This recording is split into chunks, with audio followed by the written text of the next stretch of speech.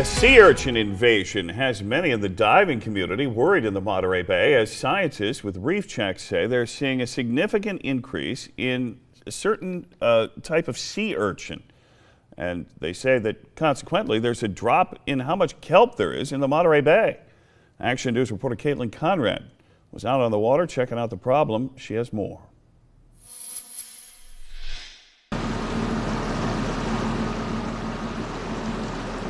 The Monterey Bay is world renowned for its giant kelp forests, but local divers say those forests are being depleted. This year, uh, it's become more dramatic that we have lost the kelp uh, that we normally have on.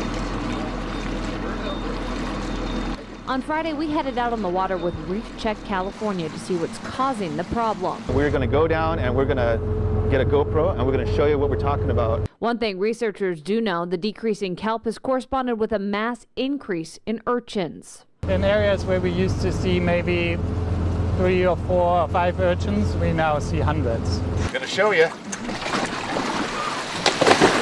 On Friday, divers Jan Frywald and Keith Rutzart dove in to show us how bad the urchin invasion is. This underwater video shows the urchin takeover off the coast of Pacific Grove, where normally there'd be a kelp forest. It's just urchins. Johnny and Keith are dropping into our second location at Lover's Point to check out what the kelp situation and urchin situation is here. Urchins eat kelp and just about any other type of algae. This year they've pushed out the abalone, closing the season along the north coast. And researchers are worried even with depleted kelp, the prickly purple creatures are here to stay. Urchins are just amazing. They, they totally have my respect. They can live without eating for years. But rather than let the urchins hang on, Reef Check is hoping to get the okay to start a removal program. If, if somebody would remove the urchins or they naturally die off, the kelp would probably grow back, at least here in the Central Coast. Lots of urchins.